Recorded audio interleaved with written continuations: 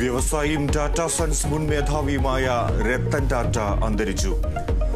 അന്ത്യം മുംബൈയിലെ breach candy ആശുപത്രിയിൽ വിടവാങ്ങിയത് രാജ്യത്ത് കാർ നിർമ്മാണത്തിൽ വിപ്ലവം സൃഷ്ടിച്ച വ്യവസായി. മുഖ്യമന്ത്രിയുടെ രക്ഷാപ്രവർത്തനം പരാമർശത്തിലെ അന്വേഷണം സഭയിൽ ആയുധമാക്കാൻ പ്രതിപക്ഷം. പി എസ് സി നിയമനങ്ങളിലെ പ്രശ്നങ്ങൾ പ്രതിപക്ഷം ഉന്നയിക്കും.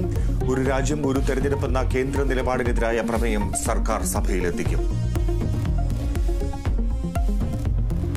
ഓംപ്രകാശ് പ്രതിയായ ലഹരി കേസിൽ നടി പ്രയാഗ മാർട്ടിൻ ശ്രീനാഥ് ഭാസി എന്നിവരെ ചോദ്യം ചെയ്യും.